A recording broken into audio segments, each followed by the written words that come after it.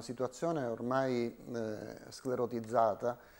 che purtroppo sta eh, rappresentando delle criticità sempre più in, importanti per quello che è la vita sociale della, eh, della città, eh, enfatizzando alcuni aspetti di una nuova forma di povertà, povertà materiale, povertà economica, ma anche povertà abitativa, che eh, permea tutti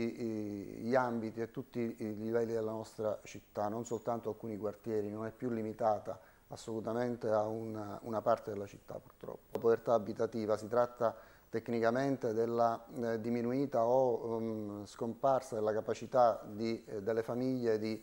eh, pagare i canoni di locazione, ma eh, non è l'unica, purtroppo eh, alla povertà abitativa vanno associati altri due aspetti che sono la povertà educativa e la povertà culturale che in questo momento si, si registrano in città. Sicuramente eh, la povertà è figlia dell'assenza di, di un'economia in sofferenza, quindi l'assenza di, di, lavoro.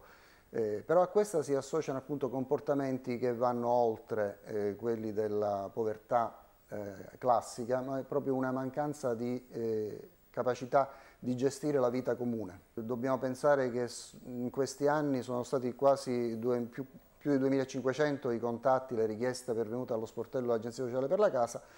ma ognuno di questi non è di un individuo, è di nuclei familiari, quindi le, la criticità, la difficoltà va moltiplicata per 3, 4, 5 persone per, per capire le dimensioni del fenomeno.